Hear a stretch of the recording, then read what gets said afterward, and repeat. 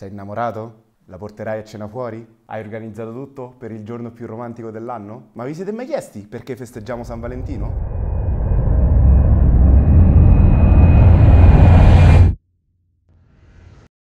Dovete sapere che l'attribuzione del patronato sugli innamorati non ha nulla a che vedere con la realtà storica del santo, che poi non si trattava di un solo Valentino. Le fonti ce ne indicano almeno due. Un chierico di Roma, ascritto alla fine del III secolo, e il vescovo della città di Interamna, vissuto attorno alla metà del IV secolo. In merito a quest'ultimo, nel Martirologium Hieronymianum, il più antico catalogo di martiri cristiani, è riportato che il 14 febbraio a Terni si tiene la festa di San Valentino, vescovo e martire. A questo che vi ho appena detto aggiungiamo che Papa Gelasio, attorno al 495, in ottemperanza alla morale e all'idea di amore dei cristiani, proibì ai fedeli di partecipare alla lasciva festa pagana di Lupercalia, antica celebrazione romana legata ai riti di fertilità e purificazione tipici della fine dell'inverno, che avevano luogo fra il 13 e il 15 febbraio. Qui venivano messi in scena, sia realmente che simbolicamente, atti sessuali e processi riproduttivi. Potete immaginare che cosa poteva succedere genere. Nonostante la censura nel corso dei secoli, la memoria di questi rituali non scomparve del tutto. Più tardi, nel basso medioevo, fu un gruppo di poeti e scrittori di corte anglosassoni che operò l'associazione fra la festività romana e Valentino, mentre uno di loro, Geoffrey Chaucer, attorno al 1382, inserì questo spunto nel suo poema dal titolo Il Parlamento degli Uccelli, componimento in versi in cui un'assemblea di volatili deve pronunciarsi sulle modalità atte alla scelta del partner in amore.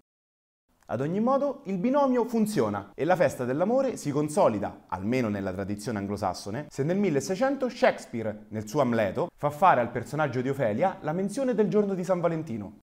Molto più tardi, nel 1797, un editore britannico pubblicò The Young Man's Valentine Writer, che conteneva decine di versi a carattere amatorio, suggeriti per il giovane amante incapace di comporne di propri. L'idea prese piede e l'invio o lo scambio di biglietti di auguri a tema sentimentale, detti Valentine, divenne popolarissima, ancor di più quando nel 1839 venne inventato il francobollo, che permise un notevole incremento della corrispondenza, estesasi poi a semplici auguri per specifiche ricorrenze concorrenze.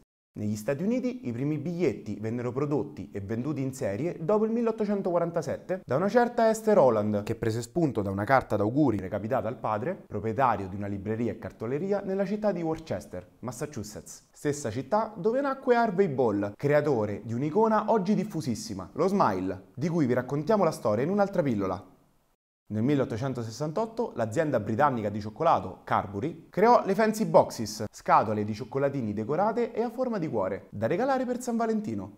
Nella seconda metà del Novecento lo scambio di carte di auguri si è estesa a tutte le festività. Oggi sono più di 150 milioni i biglietti d'amore scambiati per la festa di San Valentino, cifra seconda solo al Natale, festività a cui si lega la storia di un altro santo, San Nicola. Se sei curioso di sapere il perché, fai pure clic sul link in sovraimpressione.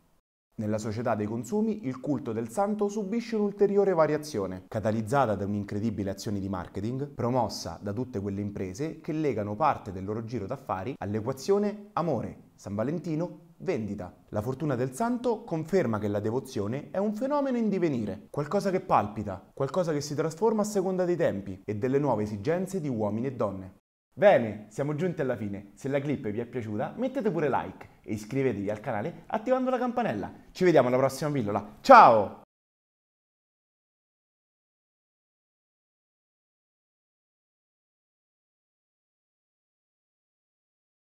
Per quanto riguarda l'iconografia del santo, non avendo la fama di altri sommi colleghi, non è così diffuso nella pittura sacra e se si incontra indossa abiti vescovili, il copricapo detto mitria e il bastone pastorale. Per tutti coloro che non sono in una relazione, non vi preoccupate. Se vi capita di conoscere una persona, cercate di ascoltare quello che vi dice la vostra interiorità, il vostro istinto, che sa sempre cosa fare, e apritevi all'esperienza. Per noi la vita ha fatto in modo che in ogni caso si vince. Se andrà bene, avremo una relazione dalla quale potremo capire meglio chi siamo. Se andrà male, impareremo a convivere con il dolore, per poi alleviarlo ed estinguerlo, quindi trasformarci guadagnando nuova energia vitale e consapevolezza.